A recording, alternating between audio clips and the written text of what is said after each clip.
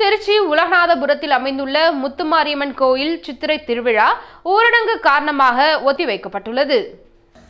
Corona virus பரவி வரும் நிலையில் மத்திய மாநில அரசு மக்களின் நலன் கருதி ஊரடங்கு உத்தரவை அறிவித்துள்ளது. அத்துடன் பொதுமக்கள் அதிக அளவில் கூடும் கோவில் நிகழ்ச்சிகளை தடை செய்ய வேண்டும் என வலியுறுத்தியுள்ளது. திருச்சி பொன்மலை கோட்டம் உலகநாதபுரத்தில் அமைந்துள்ள அருள்மிகு முத்துமாரியம்மன் கோவில் திருவிழா ஆண்டுதோறும் வெகு விமர்சையாக நடைபெற்று வருகிறது.